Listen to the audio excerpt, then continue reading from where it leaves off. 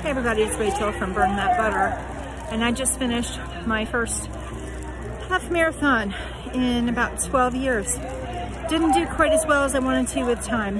That's okay. I did have to stop more times than I care to admit to have to go to the bathroom. That's gonna slow you down. What are you gonna do? You know, you can't help that. But overall, when I was running, I was running about a 12-ish minute mile, which is which is fantastic. So I'm pretty proud of myself. I did really well. Um, I feel really good. I'm dripping, dripping in sweat. Um, and uh, yeah, so now, now just to train for a full, right? Because I'm just never satisfied with with uh, where I'm at. I always gotta work at getting better. And that that's I think good advice. You know, whatever it is that you can do, always work towards trying to find some improvement, um, even if it's just you know inch by inch, um, row by row.